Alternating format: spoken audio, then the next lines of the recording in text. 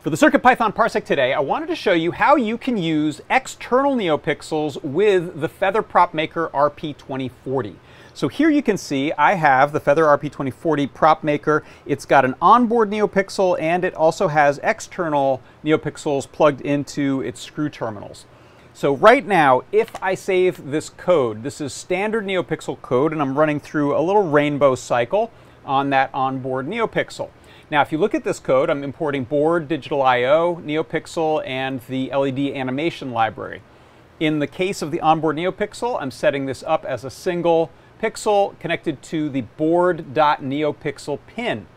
If I go ahead and swap that out for the external NeoPixels, those are on a pin called external NeoPixels, otherwise this setup is the same.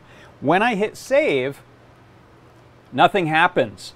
That is because for power saving, the external NeoPixel pin and all of the external power pins are turned off by default. So what we need to do is just enable the external power pin.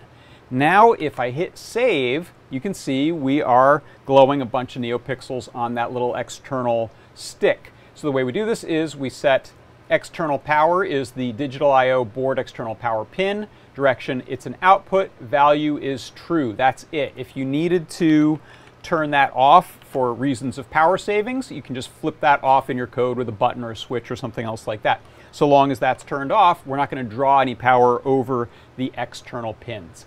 And that is how you can use external NeoPixels with the Feather Prop Maker RP2040.